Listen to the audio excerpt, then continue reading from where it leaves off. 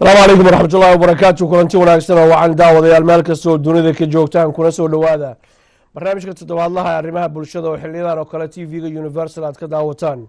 Inkastoo caawa cilad farsamo awgeed aanu yeelo dib dhacnay waan idinka raaligelinaynaa.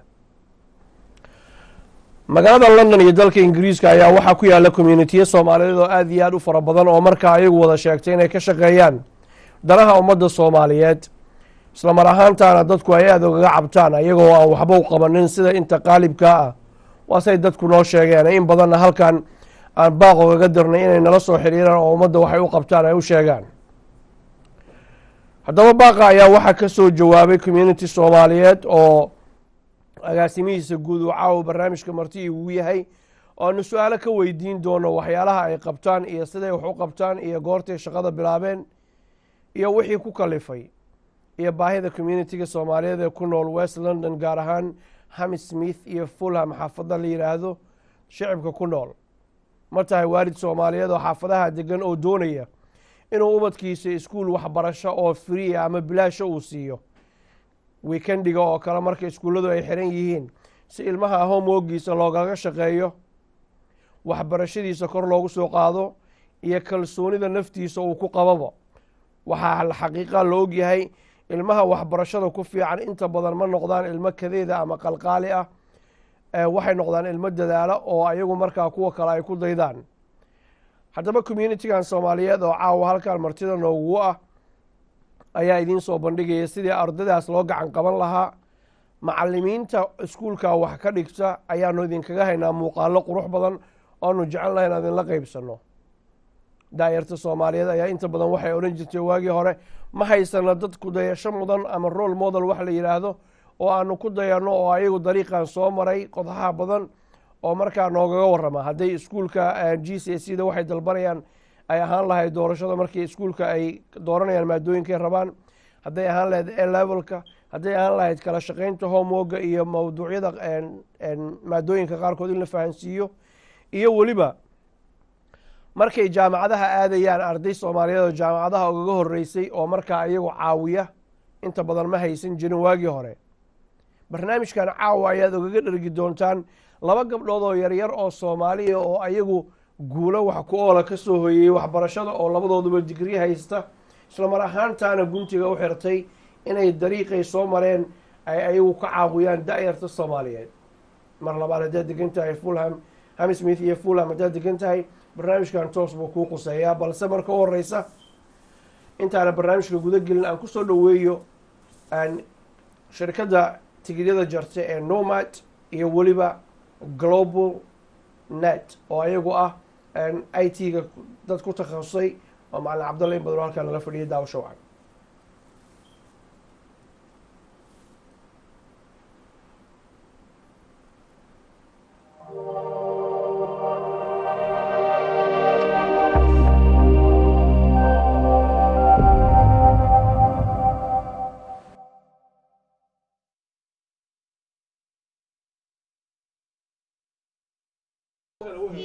waxaa dhammaanbaa bulshaweyn tomer lala socodsiinaya in sharikadda lagu magacaabo nomad travel agency ee fadhigeedu yahay south hall ay bulshada ugu baaqaysa inay ugu khidmaynayso qaabkay ugu khidmayn jirtay. Hadday noqon lahayd tikidhada kala duwan ee duulimaadyada adduunka dacaladiisa sida soomaaliya iyo weliba gudashada waajibaadka xajka iyo cimrada dhulka barakaysan maka almukarama madiinatul munawara iyo dejinta hoteelada waaweyn ee five starka iyo ukhidmaynta yaan la moogaan inaad ka dhigataan howlihiinna safar aad u dhiibataan.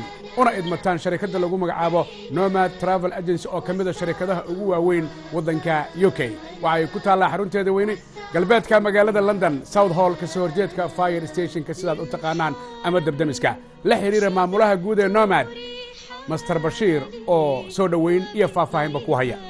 Nomad travel oo aan maamulaha ka ahay macaamiisheena waxaan ugu talagalnay adeeg hufan oo ka mid ah tigidhada adduunka dhan soomaaliya meel walba ay ka mid tahay. Marka insha allah waxaan rajeynaynaa insha allah inaan gacmo furan ku soo dhaweyno iyo wixii aan qowlkii aan sheegno inaan oofino insha allah.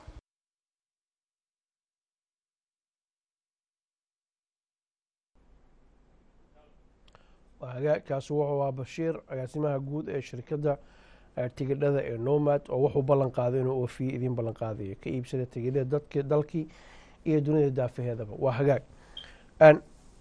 Aamine cusmaan ku soo dhawow t v-ga universal iyo barnaamijka arrimaha bulshada.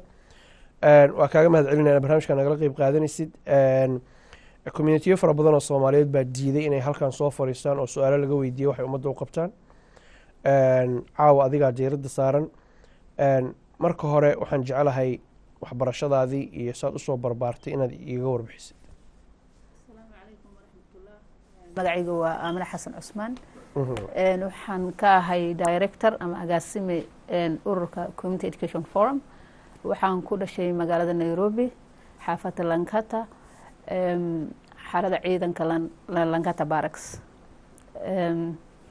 Halkii waxbarashadeyda koowaad aan ku bilaabay nasary waxaan ka bilaabay magaalo la yiraahdo nyanyuki oo mount kenya agteeda ku taalo.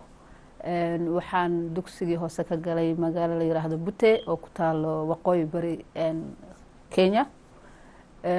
Dugsigii secondary schoolka waxaan kaga soo baxay wajiya girls high school. Waxaan tababar macalinimo ku qaatay mary teachers college oo ku dhow halkii aan nasariga ka galay mount kenya agteeda. Kadib waan soo dhoofay. Fursad uma helin inaan macnaha waxa aan soo bartay aan ku shaqeeyo isla markiiba waa soo baxay marka waxbarashadii dhameeyey sanadka markuu ahaa kun sagaal boqol sagaashan iyo sideedii ayaan waxaan galay rohampton university waxaan ka baxay two thousand three. Sanadka markuu ahaa nineteen ninety nine ayaan waxaan asaasay ururkan la yidhaahdo community education forum. Ilaa maantana waan howshaas waan wadaa. Waa hagaag. Maxaa kugu kalifay in aad community forumkan aada aasaastaan waxaa igu kalifay markaan wadanka imid. Horta waxaan ka soo bilaabay inaan ummadda soomaaliyeed u gargaaro. Markaan eeboorka ka soo degay because dad badan oo soomaali oo waayeel carruur laba ila socday. Waxay noqotay inaan dadkii u turjubaan u noqdo. Kadib markaan wadanka soo galo wadanka aan cabaar joogay baa waxaa dhacday waxaa la ii dejiyey meel u dhow advice bureau af soomaali kuleada ku sharxi doonaa advice bureau marka dadka soomaaliyeed markas waxay dhihi jireen kaali noo turjum maadaama luqadda ingiriiska taqaanid. Bas waxaan arkay marka inay baahi badan ay jirto ummadda soomaaliyeed u baahan yihiin in la caawiyo. Kadib ciyaalada yaryaraa iyo iskuulkooda inay dhib ku qabaan ayaan arkay. Marka dad kaloo soomaaliya ayaa ila yimid talada markii hore kowdii runtii oo yiri no noo fur meel aan yani iskugu nimaadno oo aan wax ku baranno. Sidaas ayaan ku as-aasay ururka nineteen ninety nine kii bishii lixaad waa gartay ururkiiba aasaasteen degmada hamsmid iyo fulham soomaali intee la eg baa degan marka la qiyaaso? Soomaali aada u tiro badan baa degan xaafad hamsmith fulham iyo shabad bush. Hamsmith fulham aa la isku yiraahdaa. Kolley tiradooda runtii ma qeexi karo laakiin waa dad aada u tiro badan oo soomaali ayaa degan una baahan adeegyada bulshada loo qabto. Marka baahidaas awgeed iyo baahida jirdarteed ayaan u furnay barnaamijka markii hore waxaan ku bilaabnay meel yaroo community center ah xaafadda ku dhex taalo. Waan ka gudubnay waxaan ku qaban jirnay iskuol la yiraahdo fulham cross girls school oo secondary school ah. Waxaan ka shaqaynaynay lix sannadood. Waxaan haddana isla markaas aan ka furnay iskuol la yiraahdo henry compton boys school. Norman craft primary school. Marka adig projectyaal kala duwan oo waxbarashada ku howlan ayaan xaafadda ka fulinaynay sanadadii ilaa ninety nineka ilaa inta dhexdooda waa gartay. Baahiyo kala duwan bay dabcan bulshada soomaaliyeed ay qabaan ama degmoodan adinku aad degan jireen ku noolaadaan ama degmooyinka kale.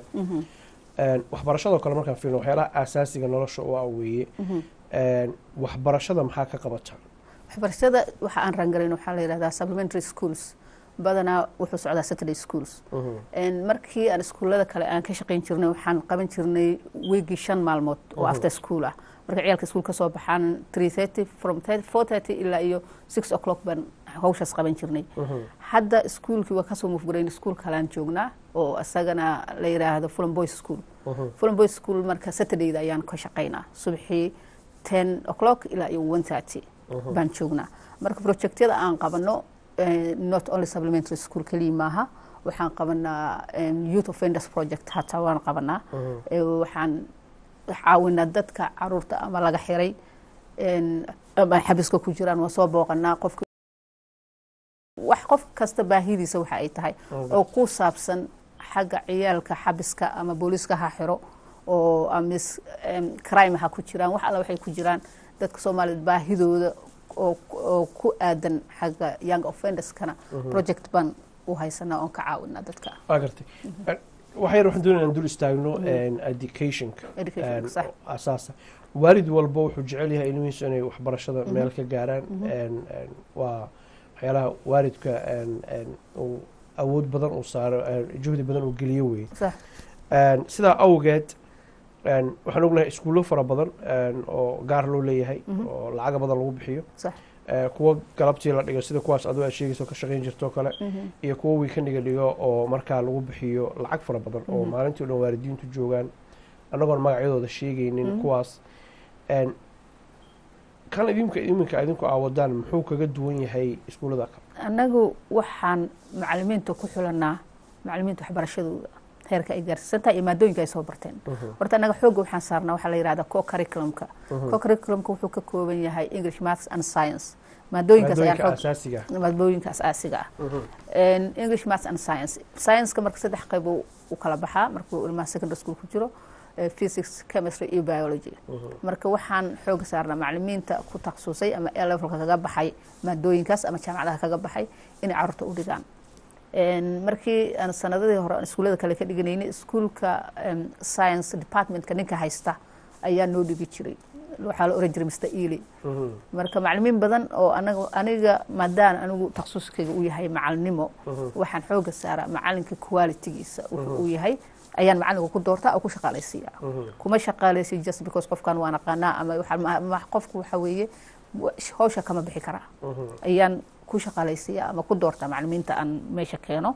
En, dadka waalidiinta soomaalidana waa ogahay tabartooda waxa ay tahay. Marka waxaan isku markas isku howliyaa in aan barnaamijyada aan qabanayo aan ugu qabto si free ah. Mhm, si bilaash. Si so si kale haddaan u dhigo en, haddaan ku fahmayna ii sax waxaad leedahay macalimiinta iyadoodu sarreyso oo bixinaya duruus free ah. Ayaad haysaan ayaan hayaa. Waa gartay tayada macalimiinta ayaad ka hadashay. Waxaan dhowaan soo dayn doonaa insha allahu tacaala aan videoyaal ama muuqaalo aanu ka soo qabanay macalimiintaas qaar ka mid ah. Iyo qaar kale oo waqtigu noo masaabixi waayey. Mar kale insha allahu tacala ayaan soo dayn doonaa. Eh, daawadayaal waxaad weli nagala socotaan t v-ga universal xaruntiisa dhexe ee magaalada london. En, waxaa barnaamijka marti noogu ah marwa aaminas aad arkaysaan aanu ka wareysanayno ayadu eh, community forum ay raangarayso amase ay iyadu wado in badan baan u yarnay communitiyada soomaaliyeed. Kale oo nooga warrama waxaad qabataan intiinii badnayd saaad ogtihiin duhurkii waa la furaa saacado kadibna waa la xiraa. Markaan idiin baaqno kaalay ummadda soo hor fadhiistana waa diideen. Laakiin waxaan idiin sheegaynaa inaan cadaalad idiin samaynayno aan idin leenahay aanan idin lahayn kulligiin waxba ma samaysaan. Haddii aad wax qabatid sida gabadhan oo kale ummadda soomaaliyeed soo hor fadhiisto. En, amino meel kale aan haddaan ka eegno communitiyada soomaaliyed waxaa lagu eedeeyaa inay subaxii aroortii furaan eh, duhurkii ay furaan duhurkiina ay xiraan. Idinku soo shaqaysa. Anigu waxaan rabaa horta ummadda soomaaliyed inaan u sheego communitiyada soomaalida oo dhan isku shaqo ma qabtaan. En, laakiin soomaalidu ma fahansana waxay mudaan inaan isku shaqo qabanno kulligiin En, dad baa jira xafisyada u furan yihiin in advice and guidance ay ku bixiyaan uh, foomamka buuxiyaan ama ay u wacaan councilka. ha inay u wacaan anigu shaqadaydu saahad maaha. Shaqadayda waxaa weeye waxaan ku howlanahay waxbarashada. En, bilmathel hadda waxaan ka hadlaynaa carruurta hooyooyinka naftirkooda waxaan u samaynaa waxbarasho. Waxaan sannadkii kun eh, 2012 saddex iyo toban dumar ah ayaan waxaa siinay shahaadooyin child care.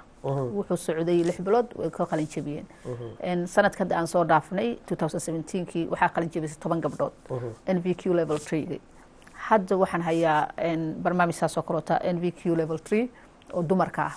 Ayaan u soo jeedinaya hablaha soomaaliyed hadday ka oo ragga ugu diideen ragga umaana diidin. Actually waa ofagaraynay. Hal nin baa ka yimi.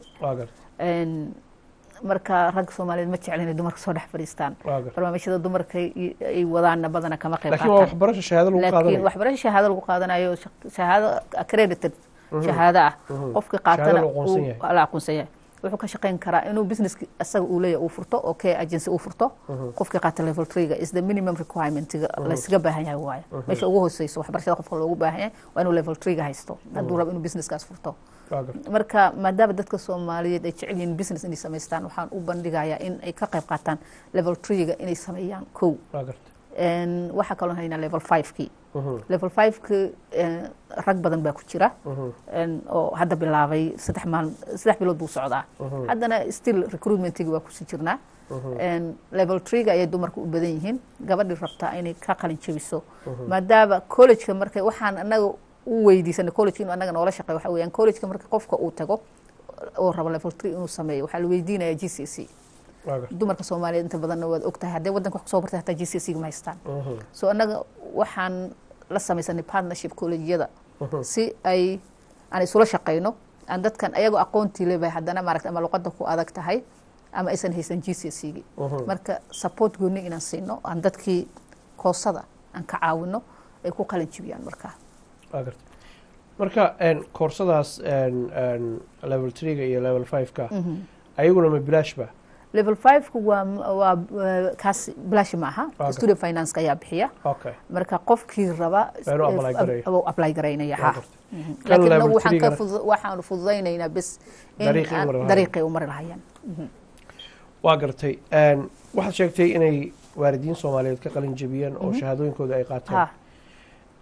Markaad aragtid qof soomaaliyeed oo shalay wuxuusan aqoon shahaado ku qaatay oo isagu naftiisii horumar la gaaray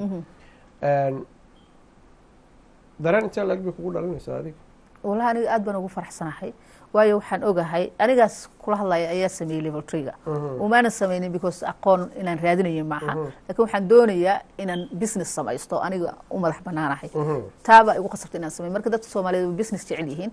Marka haddii haddii aadan rabin maaragta inaad qof u shaqayso weligaa waa waxya tallaabo oo wanaagsan weeye. Tallaabadii koowaad in- to the right direction inay tahay aan aaminsanahay marka waa ku faraxsanahay inay gabdhaha soomaaliyeed ay ka qalin jebiyeen saddex iyo toban meela iyo toban baa qalin jebisay hadda waa labaatan iyo saddex qof.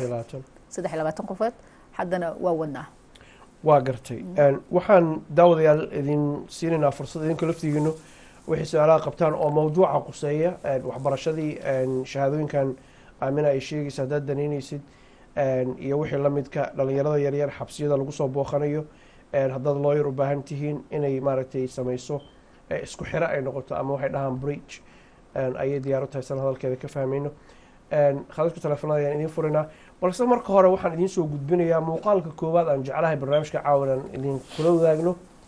Gabar yar oo caysho la yidhaahdo oo ayadu macalimad ah aqoon sarana leh nala daawado marka.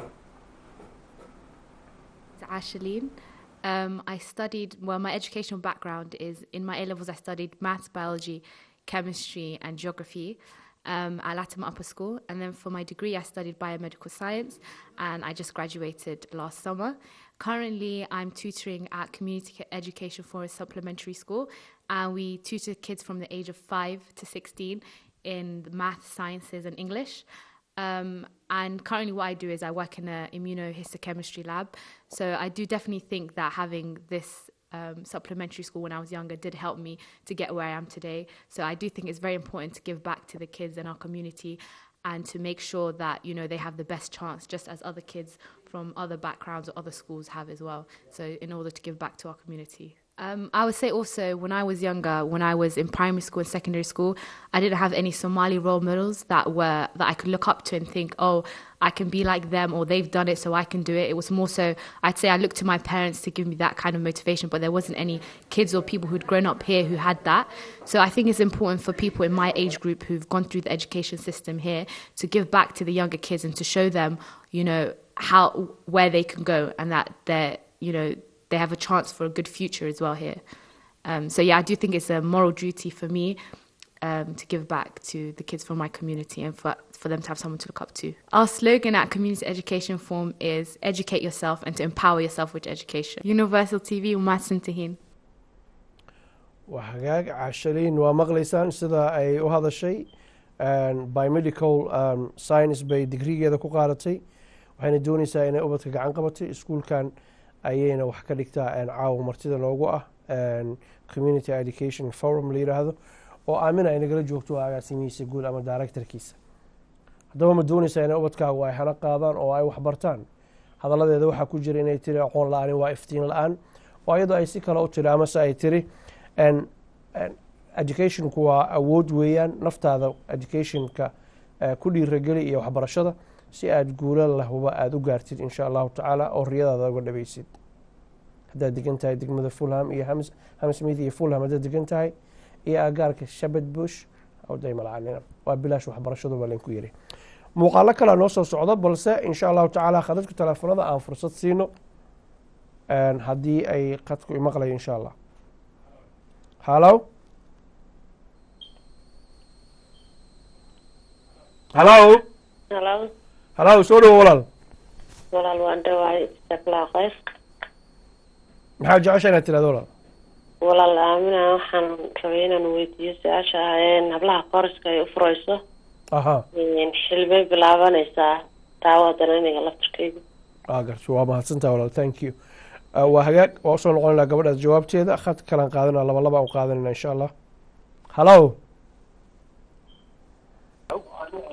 halow asalaamu calaykum calaykum assalam waraxmatullah soo dhow walaal. Ha walaale ma- maxaa london ka soo hadlaya walaale waxaan doo- aan doonayaa gabadha weydiiyo. Mhm. Eh, hal eh, eh, laba su'aal aan doonaya inaan weydiiyo. Gabadha eh, aniga eh, xaas xaaskan keenay wadanka ku cusub tahay. Mhm. marka visa oo waxay ku soo gashay public refund public refund waaye marka koorsooyin eh, ko- koorso ma- aadi karto oo maxay ahayd markii aan aan geeyey koleejada aan geeyey oo la dhahay public refund waaye eh, lama ogolo inay wax barato marka eh, gabadha eh, isko- iskoolkeeda maxay ahayd maqaab- public refund ma ma qaabili kartaa waa gartay. Su'aashaada ku xigtana? Su'aasheeda ku xigta marka labada labada koorsada koorsada entry three-ga iyo level five-ka. Koorso maxay ahayd iyo in- ingiriiska eh, ma ma ma ma la bari karaa waa gartay. Soomaaliya laga keenay waayo imisay joogtay xaaskaagu dalkan? Eh, one year. Okay. Waxay soo gashay eh, 31st of March. Okay 31st of waa year. ku gartay wan yara joogta aad u mahadsan tahay adigii inantii kaa horreysay waa laydin jawaabayaa. Dabadeedna insha allahu tacaala dad kale ayaan fursad siinaynaa welina waxaan ku noqon doonaa muuqaaladii haddii ilaahay yidhaahda qaar ka mid ah. Waad arki doontaan macalimiinta iskuulkan dhigta iyo ardayda qaarkoodba haddii ilahay yidhahda iyo muuqaalo kale. Aamino. Waan ku hormarayaa waxaan bilaabaynaa bisha may kow iyo tobankeeda insha allah ayaan koosada bilaabaynaa. Ka hor laakiin waa inay timaada waa muhiim inay haysata sharciga wadanka baasboorka baasaboorka mise sharci waddankaana? No no baasboorka waa muhiim. Ama eu passport. Okay inanka waan maqlaya warkiisa. In qofku waa inuu saddex sano wadanka joogaa because still government funded weeyaan.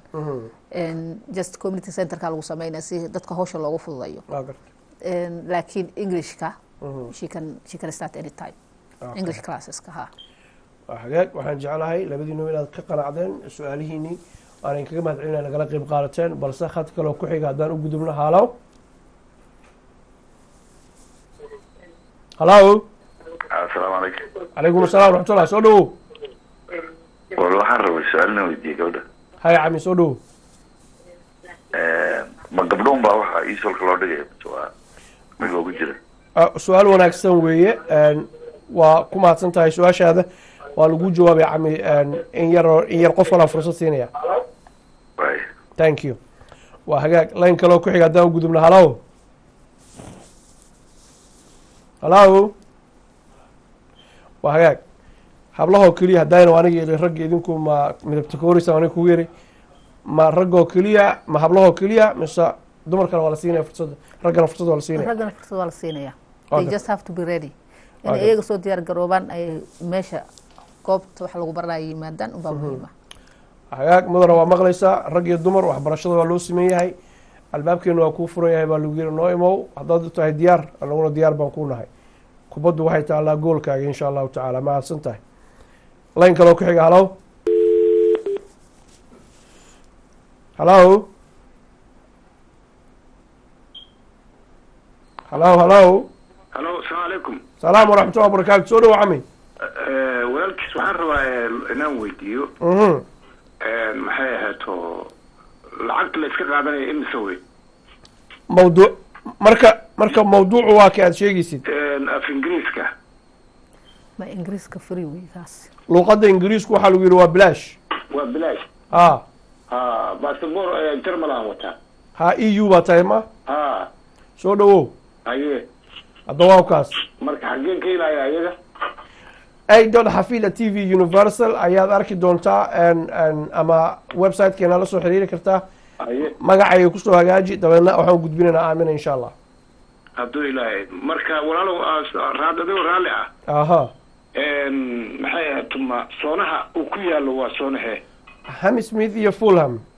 Ham smith iyo fulham. Mise fulham iyo ham smith baa la- see loo kala hormariya ham smith iyo fulham wey saaxib.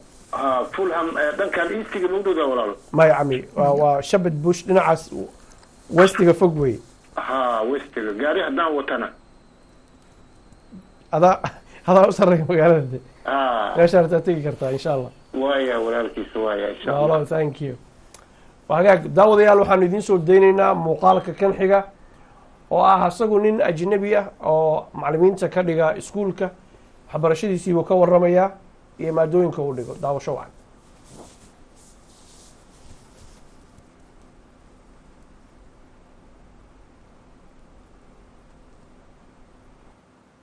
Cambridge, I studied the poetry of Gerard Manley Hopkins and uh, a lot of plays by the Irish playwright Samuel Beckett, uh, the Irish playwright Samuel Beckett.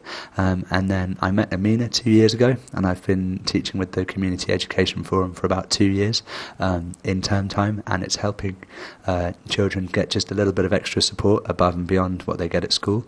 Uh, and it's free for the kids, so they can come along and they kind of have extra help with their work. Uh, we have a really broad variety of experience within the teachers here, uh, so we can cover a lot of subjects between us. Um, I tend to cover English um, with a little bit of maths and science as well, and then we're also covering things like geography and history um, and things like that. So we aim to get a real breadth of coverage and um, help people. Uh, help help the children in the areas where they just need a little bit more support, um, other than what they get at school. Um, we're really lucky here in Fulham to have a really uh, diverse community in the area that we're with. Um, so we get a really uh, nice broad range of people from all sorts of um, backgrounds, and that's both in terms of the students and in terms of the teachers as well. Um, so we like to make everyone feel that they're welcome, and we kind of reflect the community that we're a part of here in Fulham that we're really proud of. It's really important for these kids to be able to have access to this kind of extra teaching because in schools, especially with schools with large class sizes, there can always be little bits and little to- uh, areas of the topic that they might miss. Um, so it's really important for us to be able to fill in any gaps uh, which they find they have. And then also, if they show any particular additional interest in any particular area, we can kind of guide their learning around that as well um, to make it interesting for them. And if they have a particular interest in one particular area of a topic, we want to support that so we can um, support their interest in that topic going forward. So we place a really high value on the importance of everyone receiving a really high quality education here, and we like to think that we achieve that by having a real breadth of experience uh, and knowledge amongst the teachers. But we also really encourage the pupils uh, to work together and teach each other, and we try and uh, sort of foster a really supportive uh, learning environment. Um, the slogan here at Community Education Forum is that education is power, empower yourself. And we try and, and we try and um, we try. barisamaadkii waxaa la odhan jiray dalkeenii hooyo waxbarta aan barwaaqo gaarinay ninkaas dhallinyarada alex la yidhaahdo cambridge university ayuu ka baxay wuxuuna ka mid yahay macalimiinta sida bilaashka community forum kan ugu bara community education forumkan sida bilaashka wax ugu bara. Ugee ubadkaaga si ay uga faa'iidaystaan ay u noqdaan mustaqbalka kuwa adduunka hagay insha allahu tacaala. Dad xaafadaha degan tahay ka faa'iidaysta bilaash weeyaane. Hagaag amino macalimiintaas ayaad haysaan waxaan ogahay sidaad ii sheegtay hadda ka horba inay yihiin macalimiin quality leh. Macalimiintana quality ku xulataa. Markaad aragtid ilmo yaroo soomaaliya oo nadan ninkaan ajnabiga keliyaba inantii ka horreysa oo kale ay waxbarayso. Macalimiin kale ay waxbarayaan oo ayagu dariiqii iyo nidaamkii waxbarashada soo bartay garanaya ardaygan wuxuu u baahan yahay iyo godadkay soo mareen. Kalsooni intee lag bay ku siinaysaa ilmahaas inay gaaraan riyadooda ay ka dhabeeyaan amase ay gaaraan tilaabadan tan ku xigta ee secondary schoolka ama primary schoolkaba ilmaha horta inay arkaan ilmo ayaga lamida oo lamidib ah oo ku af ah oo ku dhaqara oo wax bartay ama shaqaynaya hadday arkaan ku dayanayaan midda kale qofka markii aad luqadda isku fahmaysaan ama aad isku meel ka timaadeen waxaa waaye extra time baad siinaysaa. Hadda markii aan kalaaska joogno kalaaska waxaan dhamaynaa one thirty. Waxaan dhamayn jirnay three o'clock laakiin hadda waa soo gaabanay ilaa iyo one thirty because ciyaalka inta badan ma concentrate garayn karaan so many hours. Marka dhalinyarada soomaaliyeed waxay sameeyaan waqti dheeraad ah ayay ugu daraan hadduu ilmaha shaqada dhammaynin ayagu Mhm. waqti bay siiyaan. Half hour one more hour they don't mind. Haddii la xiro iskuulka hataa guryahooda ay ku haystaan. Ama meel kafe ay kula ballamaan. Just to give their, their time. Marka waa waa kalsooni badan ilmahana way u fiican tahay kale waa hagaag aad baa umahadsan tahay daawadayaal weli waxaa nagala socotaan t v-ga universal qeybtiisa barnaamijka arrimaha bulshada iyo xarunteena dhexe magaalada london. Weli waxaanu ku guda jirnaa mawduucan waxbarashada iyo caawa aanu ka hadlayno. Mar dhow insha allahu tacaala xabsiyada ayaanu taaban doonaa. Welina waxaa noo haray muuqaalo intaas waxaa ka sii muhiimsan idinka oo khadka taleefanada ku jira oo si toosa noogala qeyb qaadan doona haddii ilaahay yidhaahdo.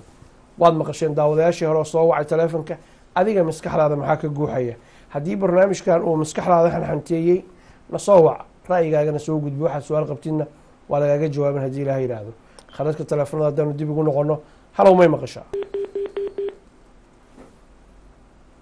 halow? Halow? Alo hadda seelooleysaa si wacan baan kuu maqlaa soo dhawow walaal waxaan doonayna inay noo sheegto aminat halka iskuulka waktiga uu bilaabanayo iyo waktiga uu dhamaanayo iyo inay kaar baag leedahay eryada. Very good question. Aad baan kaaga mahad celinayaa waa lagu jawaabaya waa mahadsan tahay waa hagaag. Line kaloo ku xig haddaan u gudubno. Halo halo salaamu calaykum calaykum assalam waxmatullah soo dhawo walaal. Waa dawra see tihiin alxamdulilah waa wada fiicannahay aha waxaan weydiin lahaa gabadh islaam walaasheed islaam weyn oo ingiriiska inay afka barato marka codkaagu wuu codkaagu uma wanaagsano walaal dibnaha uu yaro dhawey telefonka ah waxaan hayaa islaam walaashay ah oo islaam weyna aha. Oo afka inay barato waana qof weyn marka ma goormay bilaabayaan mise dadka waa waa dad dhow ma jiraa oo loo bilaabayo mise waa seen u keeni karaa tahay walaal thank you. Aamino iskuulka goormaa la furtaa la baraa waxa la baraa saacaduhu waa goorma kaar baag ma leedihiin baabuurta lagu baakin garaysto markii waalidkii uu sugaya caruurtii arrintaa wax ka dhe gabadhan hooye walaasheed ay doonaysa in luqadda baratana wax ka dheh odaygii hore soo hadlay. Mhm. ee xaafadee degan yahay horta. Mhm. maxaa mismidan fula miyaa? Meel u dhow noo dhow miyaa? Mase meel fog horta? Inaan ogaadaan jeclaan lahaa. Ka soo qaad inuu agaar ka dhow inuu agaarka hadduu ka dhow yahay parking waa leedahay maalinta saturdayda. Mhm. ciyaalkuna waxay meesha joogaan three hours and half. Ten o'clock bay soo galaan waxay ka baxaan one thirty. Waa gartay iskuulka So- dhexdiisa ayaa parking leh. Soo subaxii tan bay soo galaan Ha. kowdii barkay ka baxaan. Iskuulkuna baakin buu leeyahay. Laakiin waxaasoo dhan waxay ku xiran tahay inuu xaafadda degan yahay ama ka dhow yahay. Ha aad baa umahadsantaha waxaan u malaynaya mudane in lagu jawaabay. Waa mahadsantaha qayb qaadashadaada. Inanta kaloo doonaysa walaasheed inay luuqadda barato. Goormaa koorsooyin cusub bilaabaysaan see bay uga qayb qaadan karta koosada englishka waxaa la dhigaa maalinta isniinta. Gartay. maalin isniin- isniine baa la dhigaa. Mhm. Laakiin waa inay register garaysas diiwaan gelisaa Waa horta tay timaada meesha. So hadday tagto websitekiina community education forum websiteka ay gasho waa idinla soo xiriiri kartaa haddii telefoona ayaa ku qoran iyo emailo. Way nagala soo xiriiri kartaa. En, iyo websiteka nambarada laga helaa. En, laakiin waa inay timaada xarunta intay timaada ay foomka buuxisaa. Great. Waa gartay. Labadiinaba waxaan jeclaa in idiin jawaabay waa mahadsan tahay. Waxaan idiin soo daynaynaa markaan muuqaal kale oo ayaduna gabar soomaaliyeed oo ka mid ah waalid macalimiinta iskuulada iskuulka wax ka dhiga oo ayadu laftigeedu aqoonteedu ay sarreyso ilaahay daawasho Um, I studied um, at A levels. I did um, English literature, um, maths, biology, and chemistry. Um, they were very challenging subjects. At first, I wanted. At first, I wanted to do medicine because every Somali parents want their kids to do medicine. So at first, um, dhaqtar noqonayo. Laakiin um, I realized marka English ka sameeyay. I realized that that was my favorite subject and that's what I like. And marka jaamacad aadaysid, it's good to choose a subject that you're passionate about. Otherwise, because already the A levels are hard, they're not hard, but they're challenging, and the your university is also challenging. You're there for three years, so it's important to choose a subject that you're passionate about. So marka ka fikere, I realized that um, instead of trying to do the science subjects, I, I prefer to do English literature. Um, and uh, alhamdulillah, now I, I finished my um, degree and I'm able to um, now I write I write um, for online magazines. Um, I also write um, short stories, um, and the um, one of my short stories got published in a book by my university.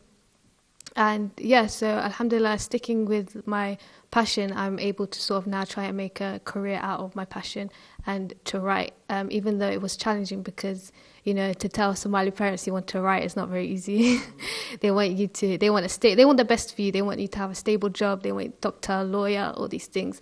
So when you say you want to do something creative, it's kind of um, it's it's a bit harder. Yeah. So yeah, so um, هذا waxaa ka shaqeeyaa um, charityga hadda ka shaqeeya um, and also um, on the side I um, write whenever I can write for um, publications or magazines and things like that.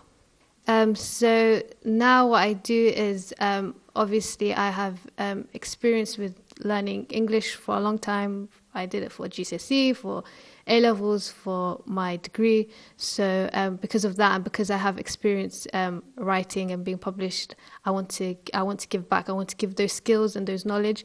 I want to be able to teach these to the kids that are younger than me. Because when I was when I was young and I needed that kind of support and that kind of help, even though we had it, but not not much. You know, we had there was some tuition centers, but we didn't have um, much support, especially with English, because I think definitely um, Somali parents put uh, emphasis on maths and science, and often the kids neglect English. And I've noticed that with Somali kids that their English, their English, like the way that they're reading and their writing, is not always as good as it could be because they sort of think English is just. Uh, a subject that they don't need to concentrate on. So Hadda now I'm trying to give back and trying to encourage kids to read more, trying to encourage them to write more and to be able to basically do well in their examinations inshallah and if they are interested to encourage them to continue with that if they if that is their passion.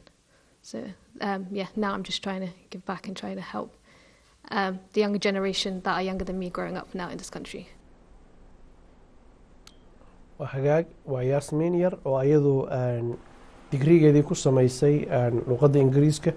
Waalidiinta soomaaliyeed haddaan nahayna waxaan jecelnahay ilmahenu inay mar walba dhakhtar iyo looyar ay noqdaan. Laakiin waxaad ogtahay ilmaha markaad u daysid maado uu jecel yahay oo markaas isagu ama iyadu ay qalbiga ka jeceshahay inay mela ka keeni karaan ama ay ka guula dhalin karaan haddii lagu dhiirageliyo waxa ay jecel yihiin maadaama waxbarashada maadooyinkeeda kala duwan ay tahay ee aan la oranin adigu dhakhtar noqo ama looyar noqo ilmo walbana dhakhtar ma noqdo looyarna ma noqdo. Annagu waxaan rabno oo keliya yaanaan fiirinin inaan fiirinaa sawirka guud iyo ilmuhu waxay jecel yihiin.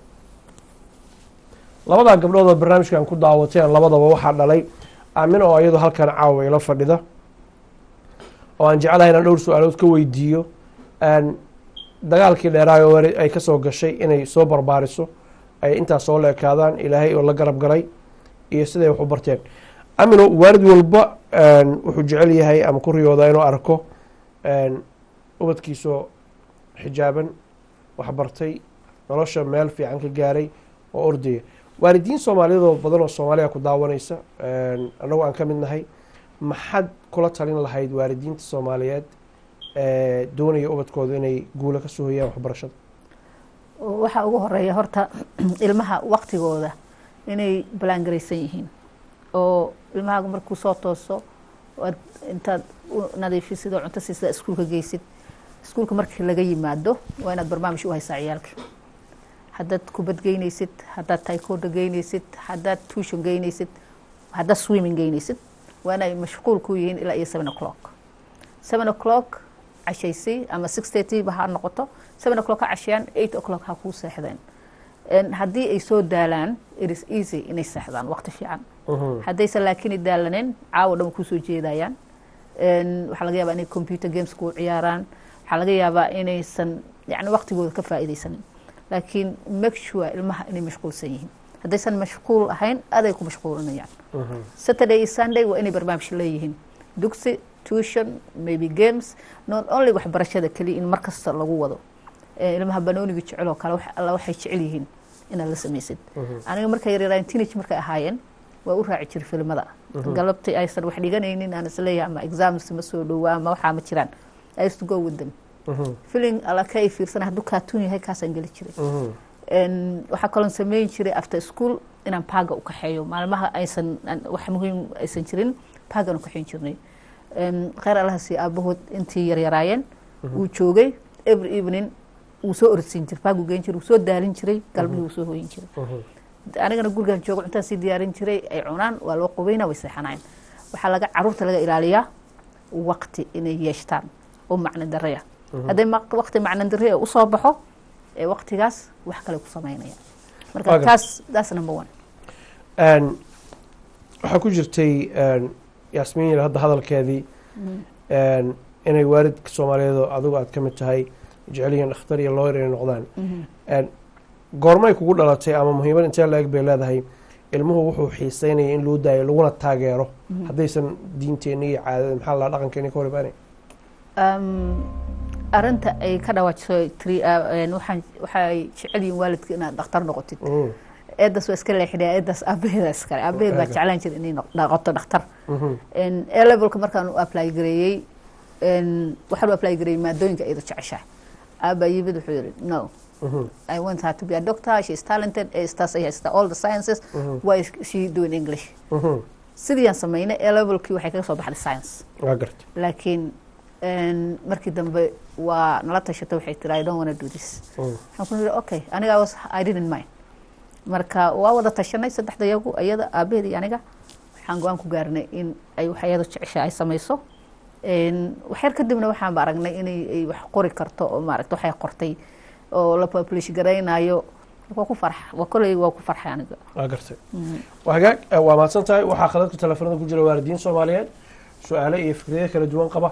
Bal aan dib ugu noqono khadadka telefoonada ma jeceshahay daawada meesha dunida ka joogtidba gaar ahaan magaalada aanu ku noolnahay ilmahaagu inay gaaraan waxbarasho ay ku dadaalaan waxbarashada ay noqdaan kuwa insha allahu tacaala waxbarashada maadigaana ku dadaala tan diintaana ku dadaala oo ayadu wax walbaba ka muhiimsan. Halow may maqashaa? Waa hagaag qofkaas ima maqlayo amino haddaan dib u fiirino ilaa ninety ninekii waa soo wadeen Mhm. barnaamijkan xagee rabtaan inaad gaartaan labada sano saddexa sano shan sano soo socdadii la yidhahdo Ha, horta waxaan kaa iloobay barnaamijka waxaa nala wada arday. Mhm. dhigata imperial university. Mhm. waxay dhigtaan stem science waxaa la yidhaahdo physics maths no physics maths iyo chemistry iyo biology. Mhm. Ardayda ku takhasustay. Waxay ardaydaas waxay ku yimaadaan free. Except exam seasonka inta kale wayna caawiyaan. Mar shan qof baa noola soo diraa mar toban baa noola soo diraa. Marka waana dad tiro badan. Sometimes waxaa dhici karta inay macalimiintii joogaan aysan arday badan joogin.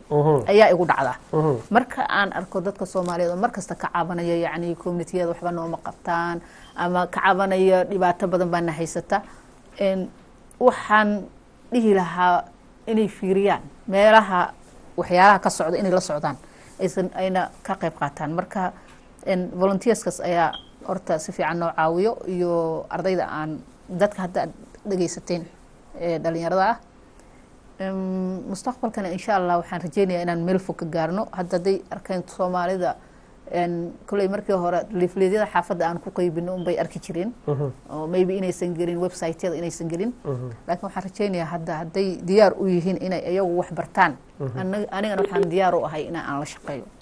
Aan juhdi geliyo. Waa hagaag. Halow halow halow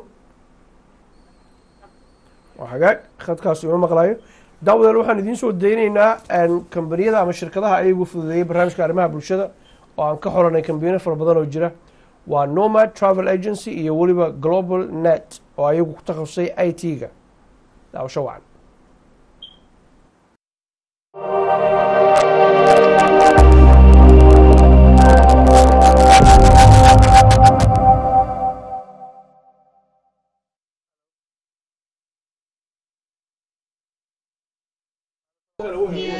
waxaa dhammaanba bulshaweyn tomer lala socodsiinaya in sharikadda lagu magacaabo noma travel agency ee fadhigeedu yahay south hall ay bulshada ugu baaqaysa inay ugu khidmaynayso qaabkay ugu khidmayn jirtay.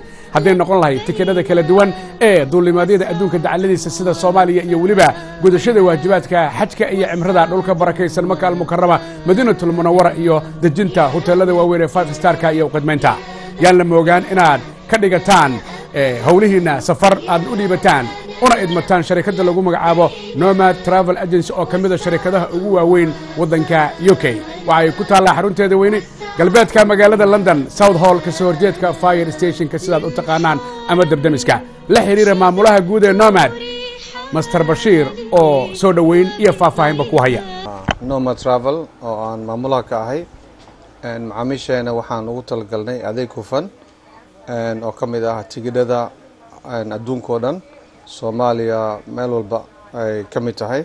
Marka insha allah waxaan rajeynaynaa insha allah inaan gacmo furan ku soo dhaweyno iyo wixii aan qowlkii aan sheegno inaan oofino insha allah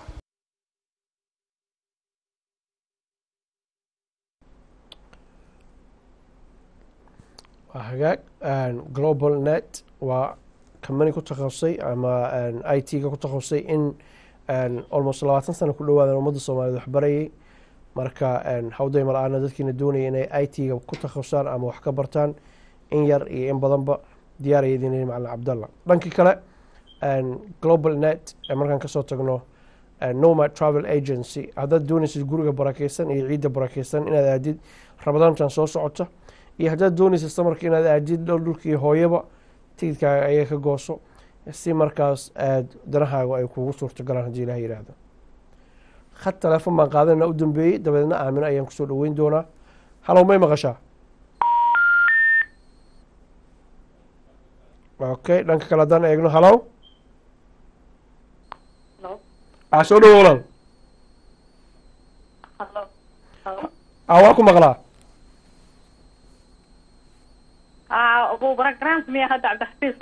ha si fiican baan kuu maqlaa soo dhawow adigu magacaa walaal xafsal iyo manchesteran ka soo hadlaa waa ku soo dhaweynaa maxaa jeceshay xafsa inaad tirahdeen maasha allah baarak allah walaal maxaa hooyo soomaaliyeed baan nahay ilma yar baan aad iyo aad uga qeyaa gabadhaan walaasha inaa meesha soo fadhiistay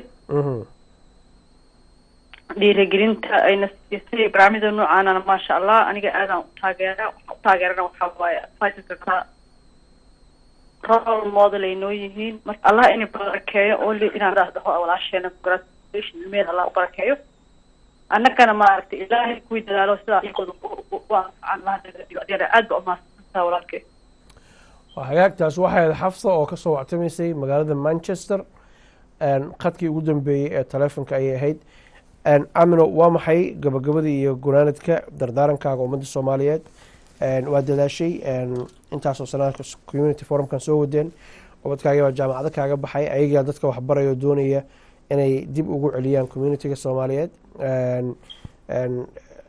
Labada gabdhood mid kamida waxay tiri waa waajib aniga isaaran in aan aqoontan gudbiyo. Siday u isticmaashana waxay ahayd inay tiri waa moral duty. Adoo soo gunaanadayo waqtigoona eryanaya maxaa odhan lahayd? Soomaalida inay iska warqabaan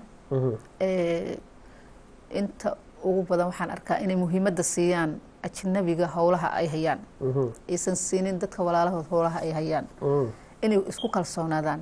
Maxaa yeelay ilmahaaga markuu yaryahay u weynaado u waxbarto. Waxaad doonaysaa inuu meel ka shaqeeyo. Marka inta badan waxay yidhahdaan meesha soomaali maa lehaa maya ma inaga daa.